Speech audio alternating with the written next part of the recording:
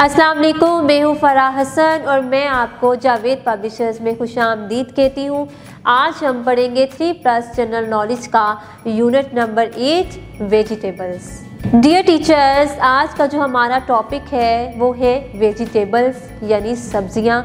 तो आज हम मुख्तलिफ़ सब्जियों के बारे में बात करेंगे और बच्चों को इनके बारे में नॉलेज देंगे। तो आइए चलते हैं अपने लेसन वेजिटेबल्स की तरफ़।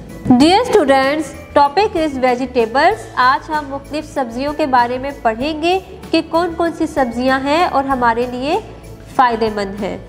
Number one look at the first picture पहली तस्वीर में देखिए पोटैटो यानी आलू।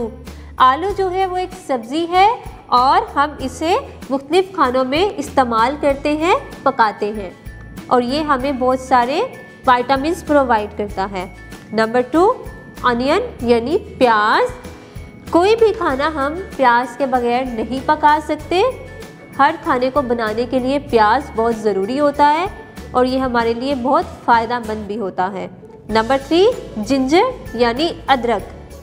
अदरक भी हम खाने में इस्तेमाल करते हैं और ये हमारी हड्डियों के लिए बहुत मुफीद होता है। नंबर फोर, कैरेट यानी गाजर।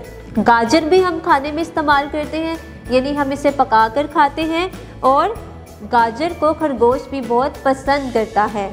नंबर फाइव, रेडिश यानी मूली। मूली भी एक सब्ज़ी है जिसे हम खाते हैं और इसे हम कच्चा भी खा सकते हैं और पकाकर भी खा सकते हैं और ये हमारे लिए बहुत ज़्यादा फ़ायदेमंद भी है। नंबर सिक्स, पीस यानी मटर। मटर जो है वो भी हमारे लिए बहुत ज़्यादा फ़ायदा होते हैं और हमें ताकत भी देते हैं और हम इन्हें पका कर खाते हैं। Number seven, cabbage. कैबेज यानी बंद गोभी। आपने सैंडविच तो खाया होगा तो बंद गोभी जो होती है, इसका सैंडविच भी बनता है।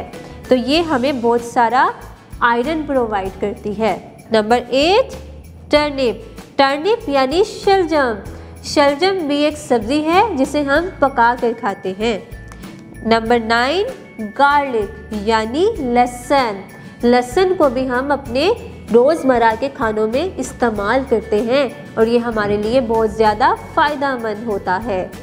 Dear teachers page number thirteen पर एक एक्टिविटी है। Find the names of all the vegetables जितने भी वेजिटेबल्स यानी कि जिन सब्जियों की तस्वीरें यहाँ पे दी गई हैं, आपने उनके लेटर्स को इकट्ठा करके वेजिटेबल्स का नेम्स यहाँ पे बच्चों से मेंशन करवाना है। डियर टीचर्स आज के टॉपिक में हमने मुख्तफ सब्जियों के बारे में पढ़ा और हमने ये भी पढ़ा कि ये सब्ज़ियाँ हमारे लिए किस तरह से फ़ायदा मंद हैं। बच्चों को मज़ीद सब्जियों के बारे में भी नॉलेज दें। अपना बहुत सारा ख्याल रखिएगा, जुड़े रहें बोलती किताबों के साथ।